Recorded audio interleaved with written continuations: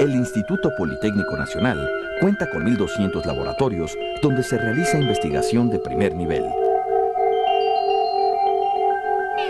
Sustentados en la ciencia y la tecnología, los investigadores del instituto realizan su labor con los estándares de calidad internacional que la competitividad y la globalización exigen.